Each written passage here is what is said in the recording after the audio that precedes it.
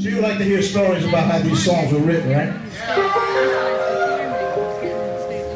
Well, you know, musicians, as probably a lot of you know, we work every Friday and Saturday night, correct? We try to work every Friday and Saturday. Well, you know, when you got somebody that you want to be with, and you can't be with her except on Sunday night, you get this one.